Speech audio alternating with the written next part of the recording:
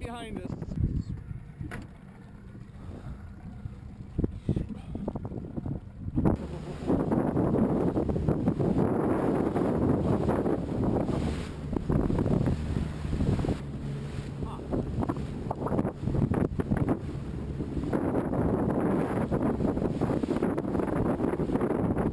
I think we should go inside.